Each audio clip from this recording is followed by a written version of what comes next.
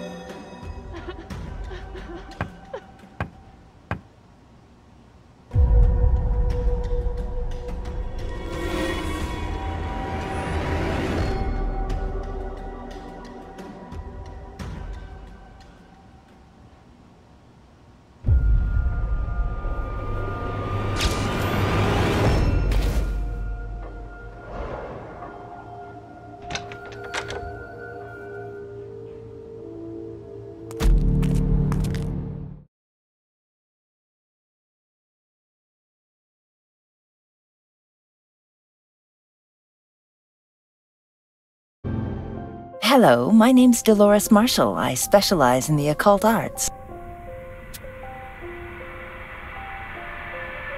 Is that so?